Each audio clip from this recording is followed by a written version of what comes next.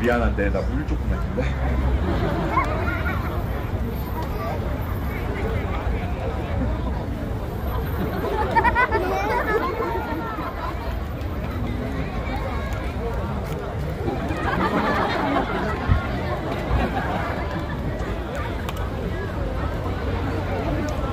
갑자기 이거 긁어주고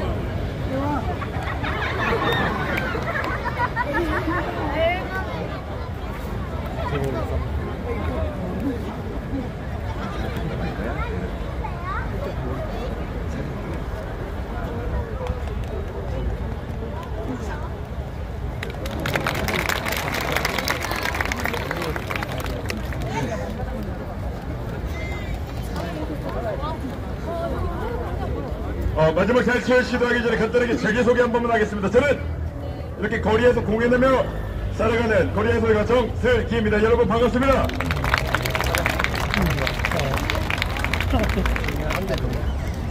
이렇게 한 10년째 거리에서 공연하고 살아가고 있는데요.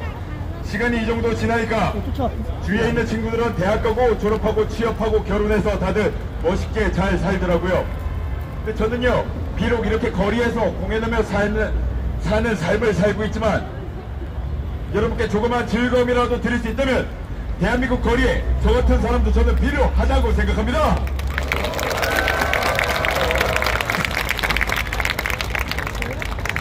이렇게 살아가는 와중에 2년 전에 제가 결혼을 했습니다.